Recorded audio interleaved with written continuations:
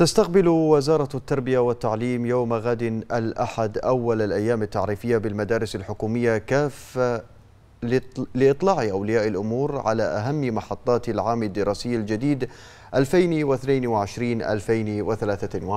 هذا وتستعد مدارس مملكة البحرين لاستقبال الطلبة والطالبات حضوريا بكامل طاقاتها الاستيعابية بعد انقطاع دام عامين نظرا للظروف التي حتمتها الجائحة العالمية. بعد انقطاع دام لمدة عامين حتمتها جائحة كورونا.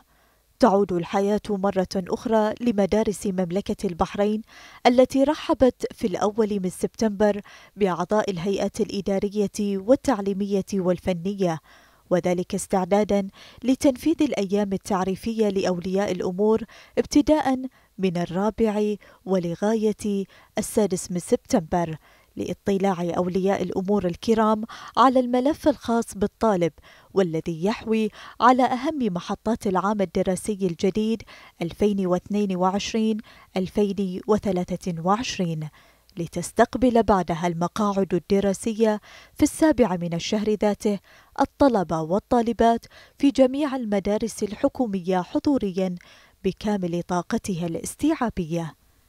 ولتوفير بيئة تعليمية آمنة وصحية حرصت وزارة التربية والتعليم على صيانة المدارس وتهيئتها لاستقبال كافة منتسبيها من كوادر تربوية وطلبة لا سيما مع عودة التعليم الحضوري الإلزامي للجميع.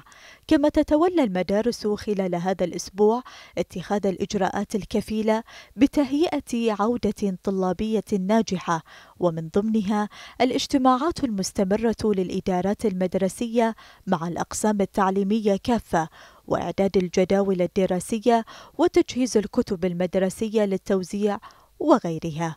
وذلك في سبيل مواصلة عملية تعزيز وإثراء المسيرة التعليمية والارتقاء بمخرجات التعليم والتعلم لتخريج جيل على مستوى عال من المعرفة.